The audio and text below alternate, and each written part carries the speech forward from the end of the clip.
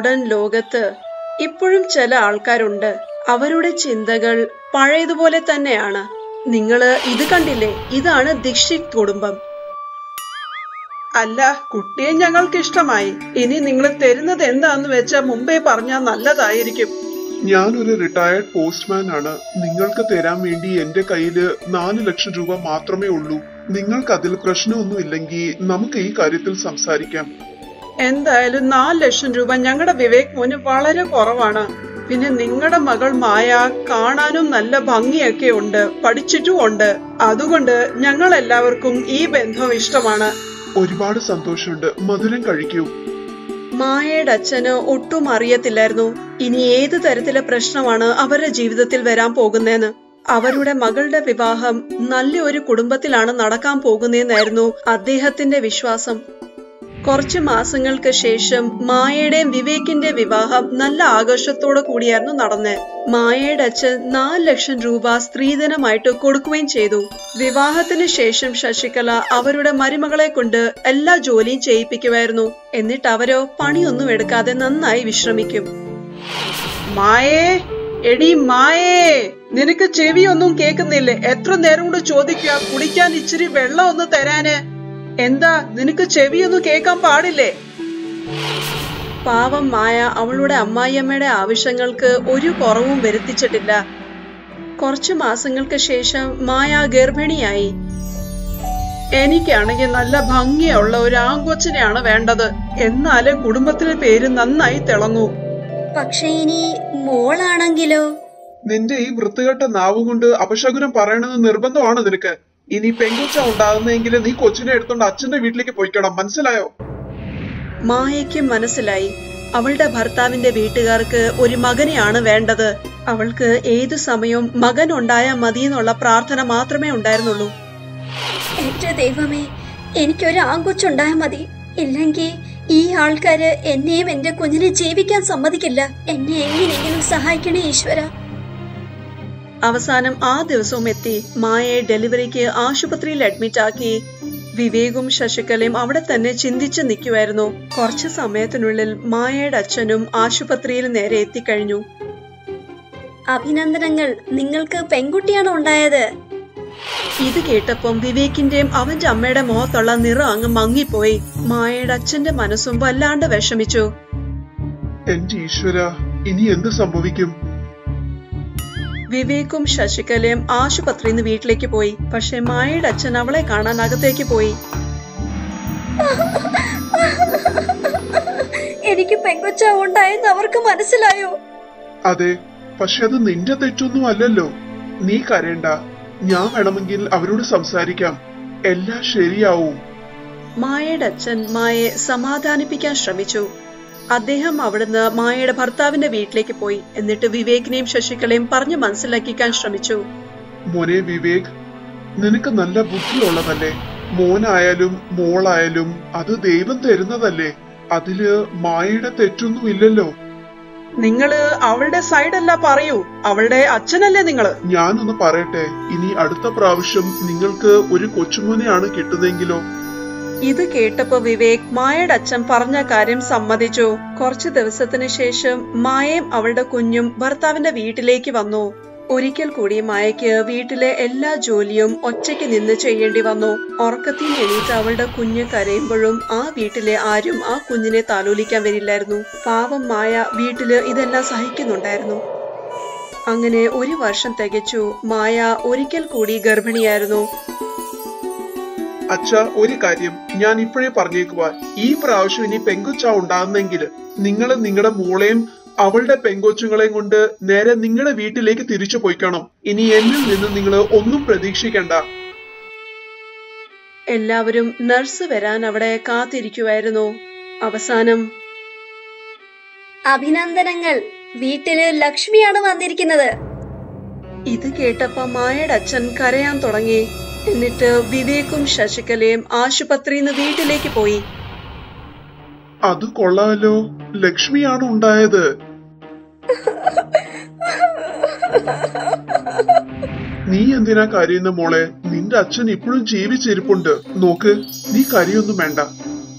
ഒരിക്കൽ കൂടി അവളുടെ അച്ഛൻ അവളെ സമാധാനിപ്പിച്ചു.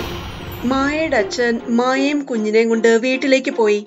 അദ്ദേഹം റിട്ടയർഡ് പോസ്റ്റ് മാസ്റ്റർ ആയിരുന്നു. അതുകൊണ്ട് അദ്ദേഹത്തിന് പെൻഷൻ കിട്ടുമായിരുന്നു. എന്നിട്ടിപ്പോ മായയുടെ കുഞ്ഞുങ്ങളുടെ ചുമതലയും അദ്ദേഹം ഏറ്റെടുക്കേണ്ടി വന്നു. അതുകൊണ്ട് ഇനിയും പണം സമ്പാദിക്കാൻ വേണ്ടി അദ്ദേഹം ഒരു വാച്ച്മാന്റെ ജോലി ഏറ്റെടുത്തു. കുറച്ച് മാസങ്ങൾക്ക് ശേഷം അച്ഛാ ഞാനും എന്തെങ്കിലും ഒരു ജോലി ചെയ്തോട്ടെ? പക്ഷെ മോളെ നിനക്ക് കുട്ടികളെ നോക്കണ്ടേ? ചെറിയൊരു പണിയായാലും മതി. അങ്ങനെയെങ്കിലും അച്ഛനെ സഹായിക്കാം. ഞാൻ ഞാനൊരു കാര്യം തീരുമാനിച്ചു. എന്താ? എനിക്ക് കേക്ക് നന്നായിട്ട് ഉണ്ടാക്കാൻ പറ്റും. ഇനി അച്ഛനും കൂടെ എന്നെ ഒന്ന് സഹായിച്ചാൽ നമുക്ക് കുറച്ച് പണവും കൂടെ സമ്പാദിക്കാം. അതെങ്ങനാ? ഞാൻ കേക്ക് ഉണ്ടാക്കാം. അച്ഛൻ അതിനൊന്ന് വെച്ച് തന്നാ മതി. അത്രേ ഉള്ളൂ. എന്നാൽ ശരി. അടുത്ത ദിവസം തന്നെ മായ വീട്ടിൽ കേക്ക് ഉണ്ടാക്കാൻ തുടങ്ങി. മായയുടെ അച്ഛൻ ഈ കേക്ക് എല്ലാം സ്കൂളിന്റെ പുറത്ത് വെച്ച് വിൽക്കാൻ തുടങ്ങി. കുട്ടികൾക്ക് ഈ കേക്ക് വളരെ ഇഷ്ടമായിരുന്നു. താമസമില്ലാതെ മായയുടെ ബിസിനസ് നന്നായി പുരോഗമിച്ചു. ഇപ്പൊ അവളുടെ അച്ഛൻ കേക്കിന്റെ ഒരു കട തുടങ്ങി. മായ ഇപ്പോഴും കേക്ക് ഉണ്ടാക്കുമായിരുന്നു. പക്ഷേ അവളുടെ വീട്ടിലല്ല സ്വന്തം ബേക്കറിയിൽ. ഒരു ദിവസം ശശികല മായയുടെ ബേക്കറിയിലേക്ക് വന്നു. അത് കൊള്ളാലോ. നിന്റെ അച്ഛന്റെ കയ്യിൽ ഇപ്പൊ ഒരുപാട് പണം ഉണ്ടല്ലോ ഇനി നിന്നെ തിരിച്ചു വീട്ടിലേക്ക് വിളിക്കാൻ എനിക്ക് ചിലപ്പോ വിവേകിനെ അയക്കേണ്ടി വരും. തീർച്ചയായിട്ടും അയക്കണം. പക്ഷേ അമ്മേ അതിനു മുമ്പേ നിങ്ങളുടെ മകന്റെ വില എത്രാന്ന് പറയണം. എന്താ പറഞ്ഞേ? ഞാൻ പറഞ്ഞത് നിങ്ങൾ നിങ്ങളുടെ മകനെ വിൽക്കാനല്ലേ ഇവിടെ വന്നിരിക്കുന്നത്. പക്ഷേ എനിക്ക് അയാളെ മേടിക്കണം എന്ന് ഒരു ഉദ്ദേശവുമില്ല.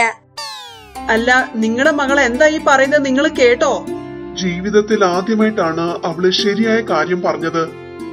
ഇത് കേട്ടപ്പോ ശശികലയുടെ ബോധം തന്നെ പോയി. നാണം കെട്ട അവർ അവിടുന്ന് വീട്ടിലേക്ക് മടങ്ങി.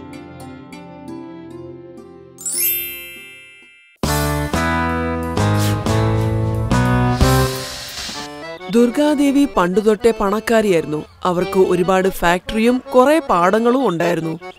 അവരുടെ ഭർത്താവ് ഒരുപാട് വർഷം മുമ്പേ മരിച്ചുപോയി. അതുകൊണ്ട് ദുർഗാദേവി മാത്രമായിരുന്നു ഇവിടുത്തെ കാര്യങ്ങളെല്ലാം നോക്കി നടത്തിയത്. ദുർഗാദേവി അവരുടെ മകൻ വിവേകിനെ പഠിപ്പിക്കാൻ ടൗണിലേക്ക് അയച്ചായിരുന്നു. എന്നിട്ട് ഇന്നാണെങ്കിലോ അവരവൻ തിരിച്ചു വരാൻ വേണ്ടി കാത്തിരിക്കുവാണ്. മദൻ കടലമാവ് കൊണ്ട് ലഡു ഉണ്ടാക്കിയോ ഇല്ലയോ? കഴിഞ്ഞു. പിന്നെ ആലു ഭുജിയോ? ഇനി കുറച്ചു നേരം കൂടി മതി. വിവേക് ഏത് സമയം വേണമെങ്കിലും എത്താം. നിങ്ങൾ നിങ്ങളെ കൊണ്ട് ഒരു പണിയെടുക്കാൻ പറ്റില്ലേ? ആ സമയത്ത് തന്നെ അവരുടെ മകൻ വിവേക് അവരുടെ വീട്ടിലെത്തി. അമ്മേ. വിവേക് ഓടി വന്നമ്മയുടെ കാൽ തൊട്ടു. എന്നിട്ട് രണ്ടുപേരും ഇരുന്നുകൊണ്ട് സംസാരിക്കാൻ തുടങ്ങി. ദുർഗാദേവിക്ക് ഇന്ന് ഒരുപാട് സന്തോഷമുണ്ടായിരുന്നു അടുത്ത ദിവസം വിവേക് മോനെ വിവേക്. പറയുമേ അമ്മേ. ഇന്ന് തൊട്ട് നീ ത്യാഗി സാറിന്റെ ഒപ്പം പഞ്ചസാര ഫാക്ടറി പോകണം. അവിടുത്തെ കാര്യങ്ങളൊക്കെ നോക്ക്. പിന്നെ ബാക്കി കാര്യങ്ങളൊക്കെ പഠിച്ചാ മതി. ശരി അമ്മേ. എന്നിട്ട് വിവേക് പഞ്ചസാര ഫാക്ടറിയിൽ എത്തി. അയാൾ അവിടുത്തെ കണക്ക് പുസ്തകം നോക്കുന്നുണ്ടായിരുന്നു. അപ്പോഴാണ് ഉച്ച നേരമായത്. അച്ഛാ അച്ഛാ. ഇങ്ങോട്ട് കൊണ്ടുപോവാ പ്രിയ മോളെ. ഇത് കഴിച്ചോ? കൊച്ചുമലയാളി നിങ്ങളും കഴിക്കാൻ വരൂ. ശരി ഞാൻ വരാം. നിങ്ങൾക്ക് ഭക്ഷണം കൊണ്ടുവന്നത് ആരാ? എന്റെ മകൾ പ്രിയ. വിവേകിന് പ്രിയയെ ആദ്യം കണ്ടപ്പോ തന്നെ ഇഷ്ടമായി. എല്ലാ ദിവസവും ഉച്ചയാവുമ്പം പ്രിയ ഫാക്ടറിയിൽ എത്തുന്നവരെ അവൻ കാത്തിരിക്കുമായിരുന്നു അവളും എന്നും അവിടെ വന്ന് അവനെ നോക്കി ചിരിക്കുമായിരുന്നു അങ്ങനെ നോക്കി നോക്കി രണ്ടു പേരും തമ്മിൽ ഒരുപാട് ഇഷ്ടത്തിലായി. പ്രിയേ ഞാൻ എന്താ വിചാരിക്കണേന്ന് വെച്ചാൽ നിന്നെ കുറിച്ച് എന്റെ അമ്മയോട് സംസാരിക്കാം. നിങ്ങൾക്ക് എന്ത് തോന്നുന്നു? അവർ സമ്മതിക്കുവോ? ഒരു വർഷമായിട്ട് നിന്നെ കുറിച്ച് ഒരു കാര്യം ഞാൻ എന്റെ അമ്മയോട് പറഞ്ഞിട്ടില്ല. അറിയോ? പക്ഷേ ഞാൻ നിങ്ങളുടെ അവിടെ ജോലി ചെയ്യുന്ന ഒരു വേലക്കാരന്റെ മകൾ മാത്രമല്ലേ? അതിനിപ്പോ എന്താ? സ്നേഹിക്കാൻ തുടങ്ങിയപ്പോൾ നീ പാവപ്പെട്ടാളെന്നുള്ളത് ഞാൻ നോക്കിയോ? അതേപോലെ കല്യാണം കഴിച്ചാൽ നിന്നെ നല്ലോണം ഞാൻ നോക്കിക്കോളാം. അങ്ങനെ അവനെടുത്ത തീരുമാനം പറയാൻ വേണ്ടി വിവേക് അവന്റെ അമ്മയുടെ അടുത്തെത്തി അമ്മേ ഞാൻ ആ ത്യാഗിയുടെ മകളെ വളരെ ഇഷ്ടപ്പെടുന്നു അമ്മേ. എനിക്ക് അവളെ കല്യാണം കഴിച്ചാൽ കൊള്ളാമെന്ന് വലിയ ആഗ്രഹമുണ്ട് അമ്മേ. എന്താ വേലക്കാരന്റെ മകളെ വിവാഹം കഴിക്കുന്നത്? നിനക്ക് ഭ്രാന്ത് പിടിച്ചോ? ജോലിക്കാരന്റെ മകളാണെങ്കിൽ എന്താ? ഞാൻ ആ പെണ്ണിനെ മാത്രമേ കല്യാണം കഴിക്കുള്ളൂ. ദേഷ്യപ്പെട്ട വിവേക് അവിടുന്ന് എണീറ്റു പോയി. ഇവിടെ ആണെങ്കിൽ ദുർഗാദേവി മകന്റെ വിവാഹം ആലോചിക്കാൻ അവരുടെ സമുദായത്തിലെ ഠാക്കൂറിനെ വീട്ടിൽ വിളിച്ചു. അമ്മ ദുർഗാദേവി നിങ്ങളുടെ മകൻ വളരെ മിടുക്കനാണ്. നിങ്ങളുടെ മകൾ ലതയും ഗുണവുമായിട്ട് സമ്പന്നയല്ലേ? ശരി എന്നാ പിന്നെ അങ്ങനെ തന്നെ ചെയ്യാം. ഉടനെ കല്യാണത്തിന്റെ ഡേറ്റ് ഫിക്സ് ചെയ്യാം. തീർച്ചയായിട്ടും. ആ സമയത്ത് ദുർഗാദേവി മധുരം എടുക്കാന്ന് എണീറ്റു. അമ്മ ഒന്ന് നിർത്താമോ? വിവേക് പ്രിയയുമായിട്ട് വിവാഹം കഴിഞ്ഞ് അവളെ വീട്ടിലേക്ക് കൊണ്ടുവന്നു. എന്റെ കല്യാണം കഴിഞ്ഞു. വിഷമം കൊണ്ട് എന്ത് ചെയ്യണമെന്ന് ദുർഗാദേവിക്ക് മനസ്സിലായില്ല. അടുത്ത കുറച്ചു ദിവസം ദുർഗാദേവി വിവേകിനോട് സംസാരിച്ചത് പോലും ഇല്ലായിരുന്നു. ഒരു ദിവസം ദുർഗാദേവി ചിന്തിക്കാൻ തുടങ്ങി. ഈ പെങ്കൊച്ച് എന്റെ വിവേകിനെ വിട്ടേച്ചു പോവാൻ എന്തെങ്കിലും ഒരു വഴി എന്റെ ബുദ്ധി തന്നെ ആലോചിക്കണം. അപ്പോഴാണ് അവരുടെ ശ്രദ്ധ പുറത്തു വെച്ചിരിക്കുന്ന ഒരുപാട് പാത്രങ്ങളുടെ ഇടയിൽ ഇരിക്കുന്ന വേലക്കാരിയിലിട്ട് പോയത്. ഉം, ഒരു വഴി കിട്ടി. മോളെ? അല്ല മോളെ? വിളിച്ചായിരുന്നു അമ്മേ. നിന്നെ കാണാന്ന് ഇന്ന് എന്റെ കൂട്ടുകാരികൾ വീട്ടിൽ വരുന്നുണ്ട്. പക്ഷേ അവർക്ക് കഴിക്കാൻ വേണ്ടി ആഹാരം നീ തന്നെ ഇവിടെ ഉണ്ടാക്കണം. ശരി അമ്മേ ഉണ്ടാക്കാം. പ്രിയയ്ക്ക് സന്തോഷം ഉണ്ടായിരുന്നു. അവസാനം അമ്മായിയമ്മ അവളെ ശ്രദ്ധിക്കുന്നുണ്ടല്ലോ. പക്ഷെ ദുർഗാദേവിയാണെങ്കിലോ അവളെ കൊടുക്കാനുള്ള വഴി നോക്കുമായിരുന്നു പാവം പ്രിയ ആണെങ്കിൽ ഇത്രയും ആൾക്കാർക്ക് വേണ്ടി ആഹാരം ഉണ്ടാക്കി. ദുർഗാദേവിയുടെ കൂട്ടുകാരികൾ വന്നേച്ചു പോവുകയും ചെയ്തു. മോളെ ഇന്ന് വേലക്കാരി വീട്ടിൽ വരുന്നില്ല. നീ കുറച്ച് പാത്രങ്ങൾ കഴുക. അതെ ശരി അമ്മേ. പ്രിയ പാത്രങ്ങളെല്ലാം കഴുകി വെച്ചു. ഒന്നൊന്നായിട്ട് ദുർഗാദേവി വീട്ടിലെ പണിയെല്ലാം പ്രിയെ കൊണ്ട് അവരെടുപ്പിച്ചു. പാവം പ്രിയ അതെല്ലാം ചെയ്യുകയും ചെയ്തു. ഒരു ദിവസം അമ്പലത്തിന്റെ പടി ഇറങ്ങി വരുമ്പോ ദുർഗാദേവിയുടെ കാലൊന്ന് തെന്നി. എന്നിട്ട് അവരവിടെ മറിഞ്ഞടിച്ചു വീണു. അവരുടെ കാലിൽ പ്ലാസ്റ്റർ ഇടേണ്ടി വന്നു. അവർ തിരിച്ചു വീട്ടിലെത്തിയപ്പോ മരുമകൾ അവരെ നന്നായി നോക്കി. പ്രിയ രാത്രി മൊത്തം ദുർഗാദേവിയുടെ കട്ടിൽ അരികിൽ തന്നെ ഇരിപ്പുണ്ടായിരുന്നു. കുറച്ചു ദിവസങ്ങൾക്ക് ശേഷം പ്രിയ ദുർഗാദേവിയുടെ കൈ പിടിച്ച് നടത്തിക്കാൻ തുടങ്ങി. അധികം താമസമില്ലാതെ ദുർഗാദേവി നന്നായിട്ട് നടക്കാനും തുടങ്ങി. അടിപൊളി. ഇത് അത്ഭുതമായിരിക്കുന്നല്ലോ. ഇതെങ്ങനെ ഇത്ര വേഗത്തിൽ നടക്കുന്നത്? നിങ്ങളുടെ മരുമകൾ നന്നായിട്ട് സഹായിച്ചിട്ടുണ്ട്. ഇവൾ എന്റെ മരുമകളല്ല മകളാണ്. ഞാൻ ചെയ്ത പുണ്യത്തിനെല്ലാം ദൈവം എനിക്ക് ഇവളുടെ രൂപത്തിൽ എനിക്ക് തന്നതാണ് ഇവളെ ഇത് കേട്ടപ്പോൾ പ്രിയയ്ക്ക് ഒരുപാട് സന്തോഷം തോന്നി പിന്നെ വിവേകിനും. ദുർഗാദേവിയുടെ കുടുംബം മുഴുവനും സന്തോഷത്തോടെയായിരുന്നു കഴിഞ്ഞത്.